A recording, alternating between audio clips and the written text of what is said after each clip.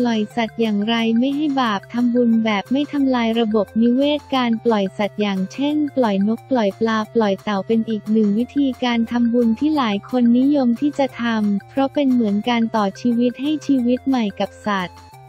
ซึ่งส่วนใหญ่ก็จะเป็นปลาดุกปลาไหลเต่ากบและสัตว์น้ำอื่นๆ แต่การปล่อยสัตว์หากปล่อยผิดที่ผิดธรรมชาติของสัตว์นอกจากจะทำให้สัตว์เสียชีวิตแล้ว ยังทำลายระบบนิเวศต่างๆ ได้ด้วย ซึ่งล่าสุด Facebook Page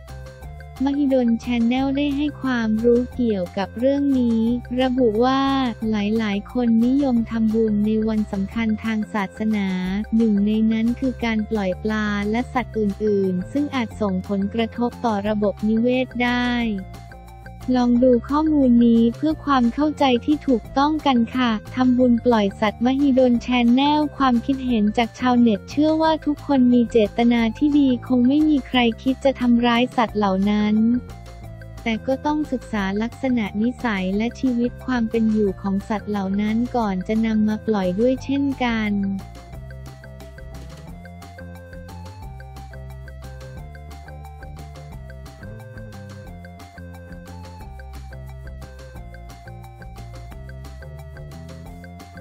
กรมสมเด็จพระเทพเสด็จพระราชดำเนิน เปิดประชุมวิชาการการพัฒนาเด็กและเยาวชนในถิ่นทุนกันดารตามพระราชดำริมอแม่โจ้จังหวัดเชียงใหม่วันศุกร์ที่วันที่ 24 ธันวาคม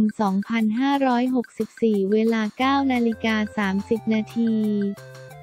สมเด็จพระกนิษฐาธิราชเจ้ากรมสมเด็จพระเทพรัตนราชสุดาสยามบรมราชกุมารีเสด็จพระราชดำเนินเป็นองค์ประธานเปิดการประชุมวิชาการ การพัฒนาเด็กและเยาวชนในถิ่นทุนกันดานตามพระราชดำริ สมเด็จพระกนิษฐาธิราชเจ้า กรมสมเด็จพระเทพรัตนราชสุดาสยามบรมราชกุมารีประจำปี 2564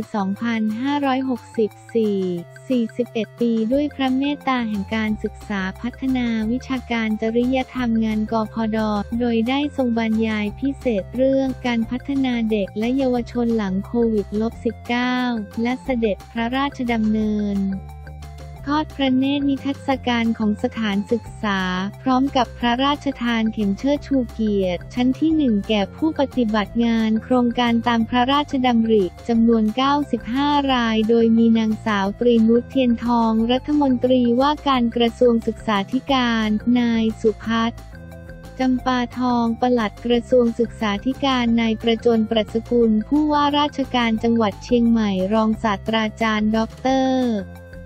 วีรพลทองมาอธิการบดีมหาวิทยาลัยแม่โจ้และคณะข้าราชการที่เกี่ยวข้องเฝ้าทูลละอองพระบาทรับเสด็จทั้งนี้ในส่วนของกรมปศุสัตว์นายสัตวแพทย์สรวิทย์ธานีโตอธิบดีกรมปศุสัตว์มอบหมายให้นายสุรเดชสมิเปรม รองอธิบดีกรมปศุสัตว์และนายธีรวิทย์ขาวบุภาผู้อำนวยการกองงานพระราชดำริและกิจกรรมพิเศษ เข้าร่วมเฝ้ารับเสด็จณอาคารศูนย์กีฬาเฉลิมพระเกียรติ มหาวิทยาลัยแม่โจ้อำเภอสันทรายจังหวัดเชียงใหม่ การประชุมวิชาการดังกล่าวจัดขึ้นเพื่อเทิดพระเกียรติสมเด็จพระเทพรัตนราชสุดา สยามบรมราชกุมารี และเป็นเวทีในการแลกเปลี่ยนประสบการณ์แนวปฏิบัติที่ดีในการปฏิบัติงาน โดยน้อมนำพระราชดำริเป็นแบบอย่างและแนวทางที่จะสอนคนให้มีคุณภาพและศักยภาพ สามารถพึ่งพาตนเองได้ตามที่สังคมต้องการ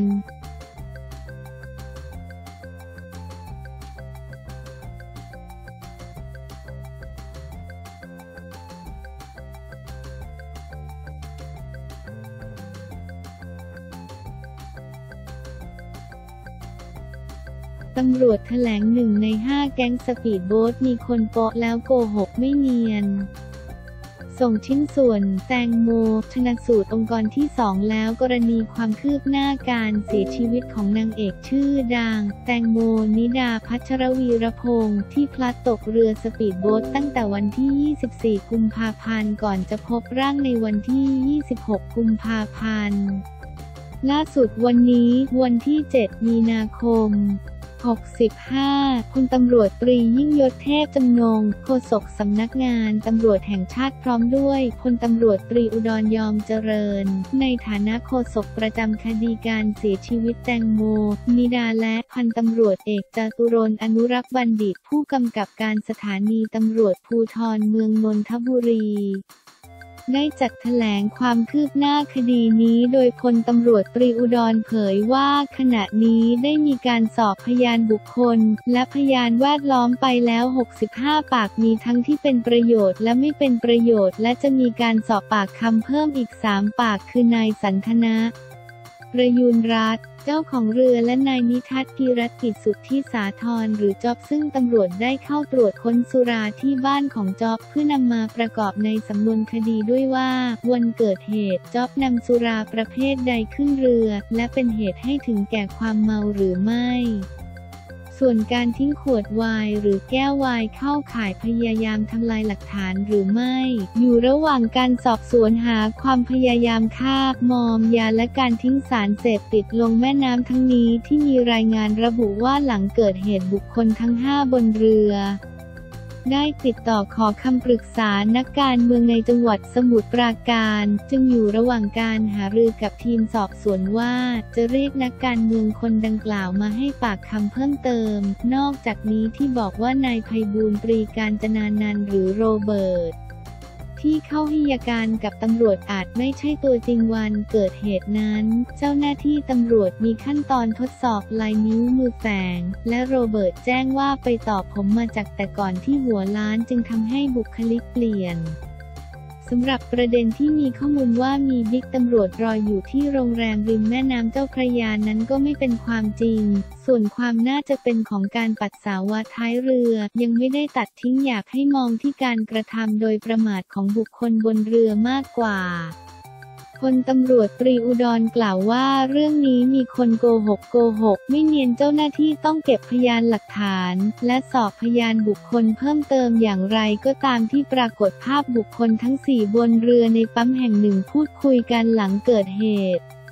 อยู่ระหว่างการสืบสวนหาพยานหลักฐาน ตรวจสอบอุปกรณ์สื่อสาร ซึ่งหากลบไปแล้วก็สามารถกู้ขึ้นมาได้ขณะที่วิสาพัฒน์มโนมัยรัฐหรือแซนที่ไม่ได้เข้าให้ปากคำเมื่อวานนี้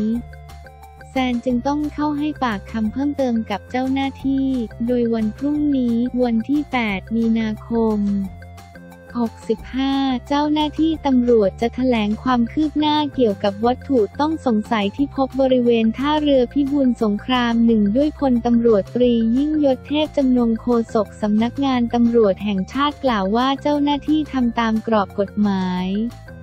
คงไม่สามารถนำเรื่องที่อยู่ในสำนวนคดีมาเปิดเผยได้ ประเด็นที่บอกว่ามีคนตำรวจตรีนอ ขายข้อมูลในคดีอยู่ระหว่างติดตามบอดแสบุคคลที่เผยแพร่ข้อมูลดังกล่าว ย้ำว่า เจ้าหน้าที่จะเร่งสรุปสำนวนคดีไปยังอายการให้เร็วที่สุด ส่วนที่ทนายความของคุณแม่แตงโม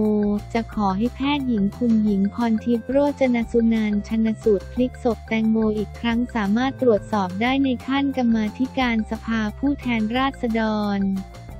แต่การชนะสูตรนี้ขอให้เป็นไปตามอำนาจหน้าที่ทางกฎหมาย และญาติโดยชอบด้วยกฎหมายร้องขอ ทั้งนี้ชิ้นส่วนของแตงโมบางส่วนได้ส่งไปชนะสูตรยังองค์กรที่สองแล้ว